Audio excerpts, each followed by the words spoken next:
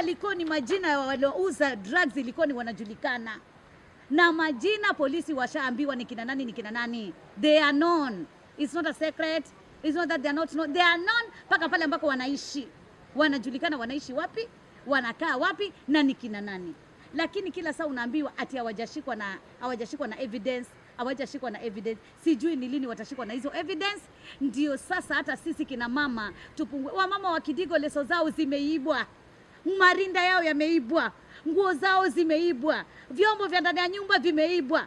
Kuna mpaka wamama hawana hata kitanda cha kulala, kwa sababu mtoto amechukua mpaka kitanda mamake ya kulala, ameenda kuuza ili apate pesa ya kununua kete ya unga.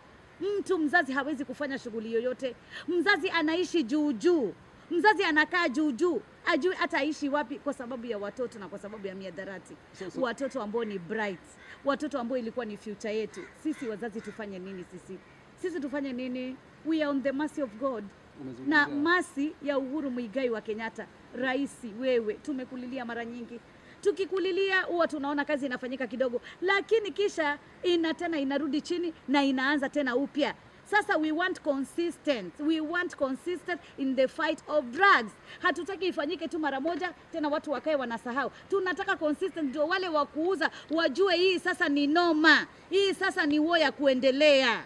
Are you calling the reshuffle of the, some of the uh, police officers? I will not say that I'm calling for the reshuffle or I'm not calling for what.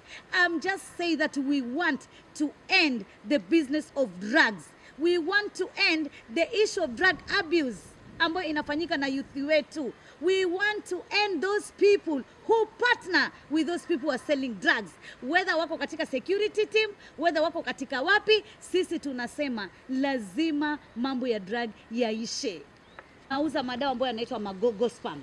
Na kuna wakati hapa Likoni tunashukuru polisi walifanya hiyo, wakaingilia sana ma- makemisi, lakini inafika pali pia wao wanashindwa, kwa sababu pia kuna sheria hizo, sheria za mambo ya, ya healthy, upande ya healthy na unajua health is devolved in the county government. Sasa inafika pahali polisi anashi, anashindwa, lakini wale ambao wako in charge na kuinspect na kujua, kuna chemist ambazo zinauza magospam, chemist zinauza zile dawa ambazo zingetumiwa pengine na watu ambao wako na mental problem, zile zinauzwa kwa vijana. Vijana wana abuse, wanatumia, ndio vijana wanakuwa wabaya, wanakuwa wakora, wanakuwa wahuni na wanafanya mambo ya ajabu sana. Tunataka vijana wetu wasome jamani. Tunaambiwa kuna special economic zone inakuja, vijana wataandikwa kazi. Kama vijana wote watakuwa wamekuwa kama mazombi, vijana wote kama watakuwa wamekuwa tu ni watu wa kula drugs, nani atafanya hizo kazi jamani?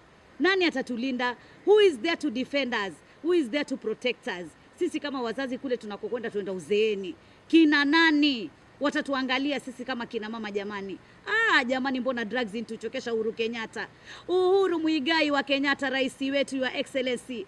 Drugs sisi zintuchokesha Likoni, sisi tumechokeshwa na drugs Likoni sisi watoto wetu wanapotea, watoto wetu wameharibika, watoto wetu wanaisha. Mheshimiwa Uhuru Muigai wa Kenyatta, rais ninayekuenzi, rais ninayekupenda, rais ninayekupa kongole kwa kazi zako unazozifanya, tukushukuru zote, mpaka bridge untuletea na kila kitu, lakini kwa swala la drugs tu Your Excellency, kwa swala la drug tu Your Excellency, hilo swala la drugs Your Excellency, tuondoshe swala la drugs Your Excellency, na Mwenyezi Mungu atakulipa na atakulinda. Swala tu la drugs ukisaidiana na bwana Matiangi, hilo mimi kwa hino resolution ya 2021 eka legacy pia ya kwamba hii drugs uliimaliza kule pwani na kule Mombasa na haswa hapa Likoni constituency.